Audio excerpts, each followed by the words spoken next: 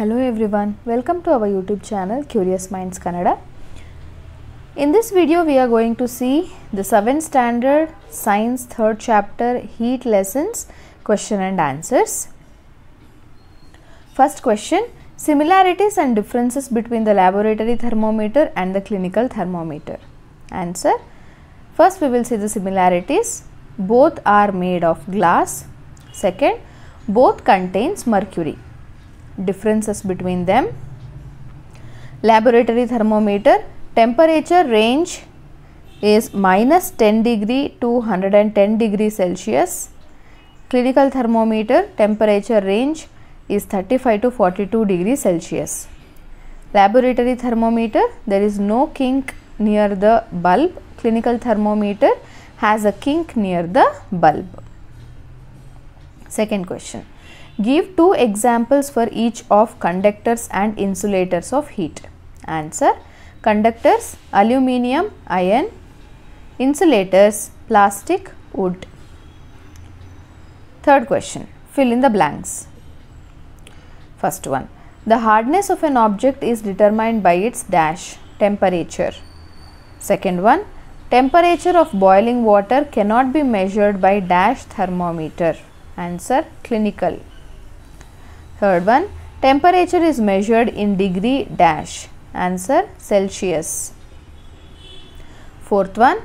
No medium is required for transfer of heat by the process of dash. Answer radiation. Fifth one. A cold stove steel spoon is dipped in a cup of hot milk. It transfers heat to its other end by the process of dash. Answer conduction. Sixth one. Cloths of dash colors absorb heat better than the cloths of light colors. Answer dark. Fourth question match the following. Land breeze blows during night. Sea breeze blows during day. Dark colored cloths are preferred during winter. Light colored cloths are preferred during summer. Fifth question. Discuss why wearing more layers of clothing during winter keeps us warmer than wearing just one thick piece of clothing. Answer. More layer of clothing have lot of space between them. This space gets filled up with air. Air is bad conductor of heat. It does not allow the body heat to escape out. Sixth question. In places of hot climate, it is advised that the outer walls of the houses be painted white. Explain. Answer. Because white color reflects heat and the houses do not heat up too much. So, in places of hot climate, it is advised that the outer wall of the houses be painted white. Seventh question.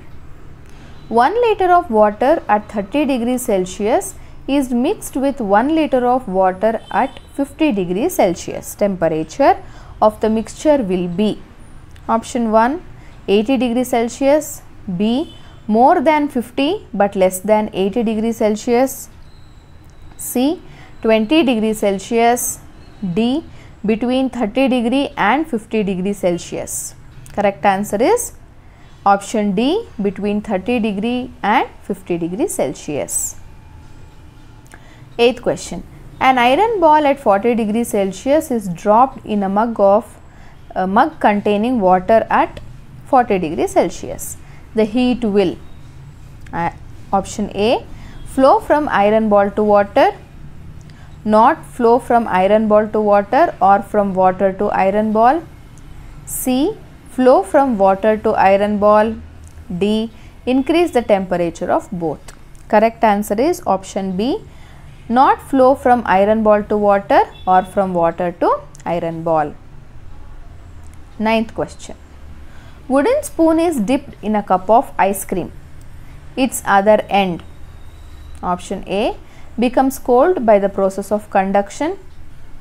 B becomes cold by the process of convection.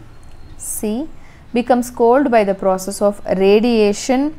D does not become cold. The correct answer is option D does not become cold. 10th question. Stainless steel plates are usually provided with copper bottoms. The reason for this could be that option A copper bottom makes the pan more durable. B such pans appear colorful. C copper is better conductor of heat than the stainless steel. D copper is easier to clean than the stainless steel. The correct option is option C Copper is better conductor of heat than the stainless steel. So, these are the answers for the questions given in your NCERT textbook. I hope this video was useful for you all. If yes, please do like our video, share this video and if you have not yet subscribed this channel, please subscribe it. Thank you.